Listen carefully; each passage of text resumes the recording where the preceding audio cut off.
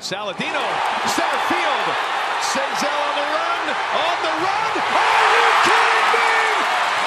Tyler Saladino with a grand slam again. Back to back days. Brewers have the lead 5 4.